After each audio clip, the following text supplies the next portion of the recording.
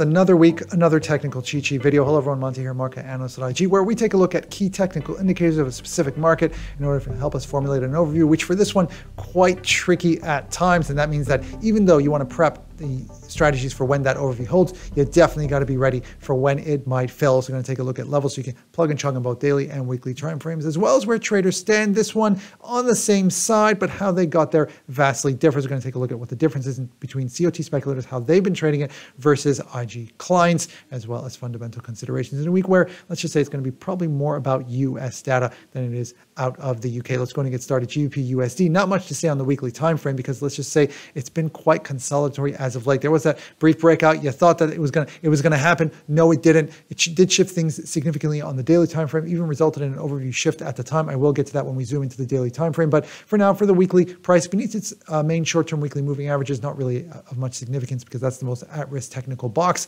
Uh, neutral when it comes to most of its technical boxes. I actually plotted uh, the DMI as well as the ADX down here. You can see that not much of a margin for the plus DI over the negative DI and ADX that's been falling you know, out of trending territory and dropping an RSI nowhere near overbought or oversold territory as well as price well within the Bollinger Band. So you look at this and you want to think to yourself, okay, you know what? This is an overview that's relatively consolidatory. Okay, fine. The dust has settled quite a bit after what we after we had those central bank decisions. And I know a large part of it at times has been the dollar dictating the FX moves, but here's the thing: there are, you know, you do have those guys in the camp where they're thinking to themselves, okay, you know what, second quarter, this is finally. It's been a year and a half. We've been anticipating those dollar bears. We've been anticipating a fall when it comes to the dollar. This is it. We're finally going to get that. The problem is, is that even if you are anticipating a decline, and I'm not saying that's the way you want to trade it. At the end of the day, uh, the overview is not where it's headed. It's you're taking a snapshot of where it is right now, and then you sort of set up the strategies accordingly. But for those that are anticipating a decline, you're probably not want going to want to look at the weekly time frame. You actually want to look at the daily time frame. Usually,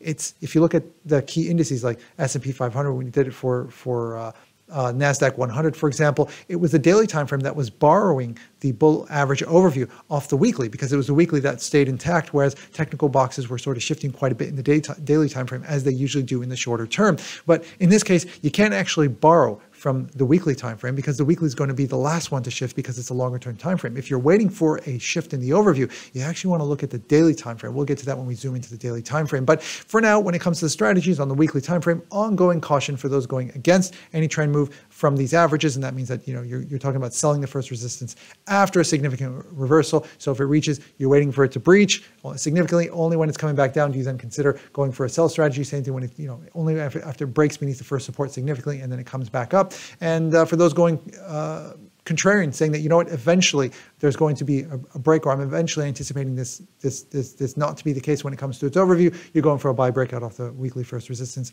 or a sell breakout off the weekly first support. Now there are those that because you're not anticipating a break beyond these levels, there is the matter of okay, can I initiate early? But remember, you're in this case, if you're doing this because you're going for a long-term trend, uh, that means that you're not you, you can't go for a small profit taking because that means your risk reward is going to be way off. In that case, you're essentially going to have to be ready for a trend move, and that means you also got to be ready for initial disappointment because if it doesn't happen, you're going to constantly get stopped out. You know, if it goes up and then it comes back down, uh, you get stopped out there, you get stopped out one after the other until finally that eventual break happens. What about when it comes to RSP uh, to first levels on the weekly time frame? 107.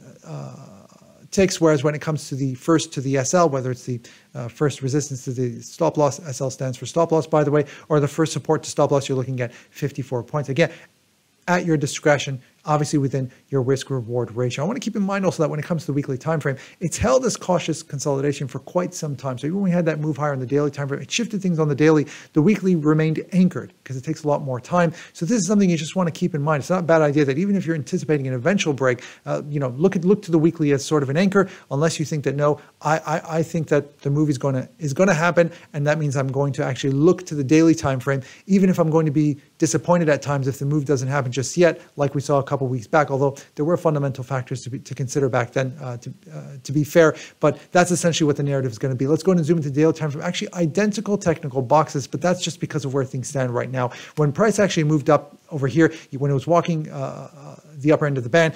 ADX briefly went into trending territory, positive DMI. RSI was in overbought territory. Price was above all its main short and moved uh, long-term daily moving averages. So it was able to, to really shift it, the narrative, and really make it look like this is it. This is the bullish move, only for it to disappoint. It isn't the first time we've we've seen it happen when it comes to the pound Probably won't be the last time, but that just means that in the meantime, even though the overview, looking at the technical boxes and how it's come back down, it's still a cautious one. Let's not forget there's going to be there's a lot of mayhem when it comes to technical boxes, and you, are not going to be able to, as I mentioned, rely on the weekly. As if you are looking for a breakout, it's, it's here where it's going to set the tone first and quickly, even if it ends up ends up resulting in initial or secondary disappointment. So for now, the usual strategies are going to hold for both conformist and contrarian strategies. Um, that means, you know, uh, conformists are, are sell after significant or buy after significant reversals off the first levels, uh, whereas with contrarians, you're going for breakouts. And then here's the thing, on a weekly time frame, you know, on average, conformists have generally done better just because it's come back towards an average and, and it's been relatively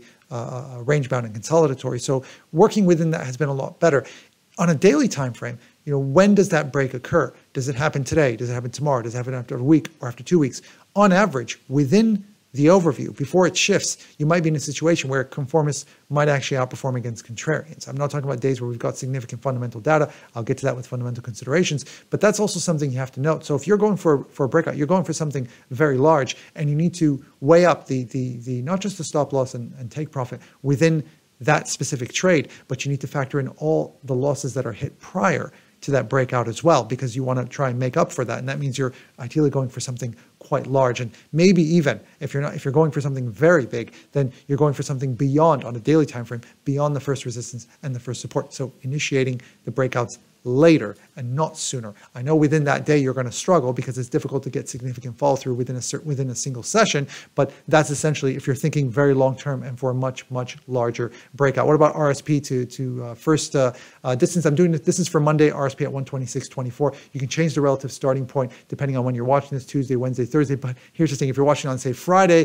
with non-farm payrolls, you want to go ahead and adjust either one or two things you got to do adjust the gap from the RSP to the first because it's not going to be 40. You're going to probably get a move much, much larger than that. And of course, that means if you're tweaking your risk reward, the first to SL isn't going to be 19, but larger than that. The second way, thing you could do is you go, you know, okay, I'll stick with these numbers. But that means that on days where things are going to be a lot calmer, you can think to yourself, okay, maybe I can go for a fade or a light reversal there. But on days where you have something significant, whether out of the US or out of the UK, then you're going to have to stick with a very, very, very significant reversal. So you cannot just initiate with a fade. You're going to get stopped out very quickly, especially if you if you narrow these levels at a time when market makers themselves are going to be withdrawing liquidity whenever there's a fundamental event, like, as a good example, US non-farm payrolls. Let's go ahead and take a look at sentiment traders, both of them, uh, uh, IG clients, clients on our end, as well as COT speculator. Uh, majority buy, though in the case of COT speculators, reducing their uh, longs, increasing their shorts, taking it out of heavy buy territory from 67 to 62%. It's not just here. Even in the euro, they reduced their majority buy buys. They're actually not far off shifting in the euro from majority buy to majority sell. And when it comes to IG clients, from heavy uh, buy 66 to 60%. So not, not far off uh, in terms of where both of them stand, but where how they got there vastly differs. I'm going to go and plot it onto the chart. You got the 50-50 red line. The dotted lines you're looking at the left side as percent long. Whenever you see the blue or green dotted line below the red line, it means they're majority short. Whenever they're above, they're majority buy. So up here, if it gets to around 70%, then heavy buy 70%. Whereas when it comes down to over here, the green dotted line, tracking it down to around 37%, that means they're minority buy 37, which means their majority sell 63%. Let's go and start with IG, uh, with uh, COT speculators, green dotted line. You can see that it really was large chunk of them going with the flow. It's a momentum trade. You know, they, they, they started to raise their buy buys as price was going up. When price started to come down, they held initially, and then they go, okay, you know what, we're out of here. And you saw that you saw them reduce their their their uh, buy buys and shift to majority short as prices went down, going with them very very much momentum base. You saw prices start to recover and start to move up. You see them finally a little bit late, a little bit of a lag, but finally start to take it up a little bit. And then over here, you know, they once again, there was a bit of a divergence. Price was moving, trending a little bit lower. They were holding on and actually raising their buy buys. They had this move higher FOMC, and afterwards they took it down. And now they're, uh, as I mentioned, reducing and getting out of heavy buy territory and coming down to about 62%. What about IG clients? They actually traded this one a little bit better, going opposite. And because it averaged back, they actually managed to get this one right. So if you see prices going up over here, blue dotted line comes all the way down, uh, not far off extreme uh, uh sell territory and price comes down, shorts get out, longs initiate, they shift back to majority buy. It comes all the way down to here. They go up into heavy buy territory, not far off the extreme buy territory. And then once again, price comes up, longs get out, shorts, short, uh, longs get out, shorts initiate, and then afterwards they go back and also very close to the middle. Try, when, when things were range bound, they were also trying to range trade quite a bit. It's only over here where you had the the, the move. Uh, again, this is on a weekly time frame. The pop higher that shifted a lot of uh, technicals, but they actually went they actually went to the to the sell side, took it uh, into majority short territory, and it proved right for them. And for now, taking it into majority buy territory. I'm going to zoom into the daily time frame just so you, so you can see the, the latest move for IG clients. This is where you had that move where it shifted. You know, it was just enough to shift all the technicals boxes green, you know, just enough to give us that overview shift, and then wham, it just came back and, and it got undone. And and traders managed to, clients on our end managed to, to to to get that run right in the sense that shorts got out, long started to initiate. I think this right here, this whack right here, you had the FOMC, and then after you had the SNB surprise cut, which European currencies generally dropped. Then you had the, the Bank of England as well that tweak, and and they had this drop here to this new zone. I think this is kind of what surprised them. Took them up into heavy buy territory briefly, and somewhat very light, but trying to work their way out of it, not really trying to overcommit thereafter. So what about fundamental considerations for this week? Look, for, when it comes to the dollar, depending on when you're watching this, you got the PMIs, manufacturing on Monday, services on Wednesday, but pretty much about labor data leading up to Friday's non-farm payrolls. You do have some FOMC members speaking, including the Fed's Powell. And speaking of, of, of the FOMC, you got the market pricing courtesy of LSEG uh, uh, by a majority, not a significant one, anticipating the first cut in June. That's as of doing this video. Um, not going to take much to tilt that narrative to go to a coin toss or even push out the first rate cut, and not going to take much to change the narrative as well of markets pricing in by a majority, not a very very big one, that there are going to be three rate cuts this year. What about from the comes uh, to the to the pounder out of the UK? You got holiday on Monday, PMIs, money and lending, housing price data, and uh, for the Bank of England not far off. Again, as of doing this video, market pricing is always going to be changing, but a coin toss in terms of getting a rate cut in June, and also also not going to take much to tilt the narrative in terms of having three rate cuts this year out of the Bank of England. So that's about it. Thank you so much for watching. Do hope you enjoyed this video.